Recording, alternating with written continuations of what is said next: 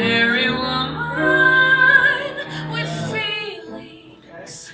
I'd like a man to nibble on my ear.